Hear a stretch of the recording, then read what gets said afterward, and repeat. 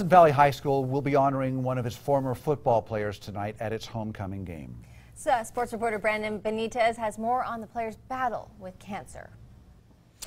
Tate Hampton played football his entire life, even played lacrosse, but after a shocking discovery last year, his time in sports came to an end. Hampton played on the junior varsity football team, but last year left the team after being diagnosed with cancer. Hampton still attends classes at PV and then afterwards heads to chemotherapy. All of this has taken a toll on Hampton and his family, which is why the Vikings will be holding a gala for him in hopes to raise money.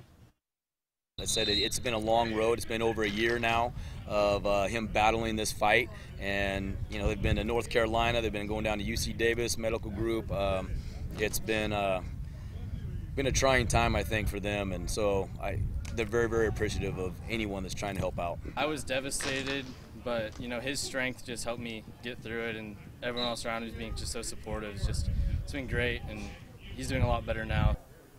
The gala will be held at the Elks Lodge on September 21st. If you would like to support and attend, you can visit our website at actionnewsnow.com. And tonight, the Vikings invited Hampton to be their honorary captain at PV's homecoming game.